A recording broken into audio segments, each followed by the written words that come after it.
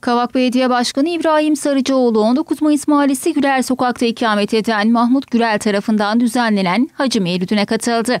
Hacılara hayırlı olsun temennisinde bulunan Sarıcıoğlu, kutsal topraklarda hac görevini yerine getirirken hayatını kaybeden Müslüman kardeşlerimiz ve hac görevini tamamlayıp ilçemize dönerken rahatsızlanan ve yaşamını yitirip Suudi Arabistan kanunlarına göre orada toprağa verilen ilçemiz Ağırlı Mahallesi'nden Aslan Dinçer için üzüntü yaşadık.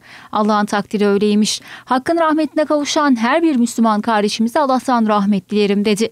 İkram edilen hurmalardan tadan ve zemzem suyundan içen Sarıcıoğlu Allah herkese kutsal topraklara gitmeyi nasip etsin temennisinde bulundu.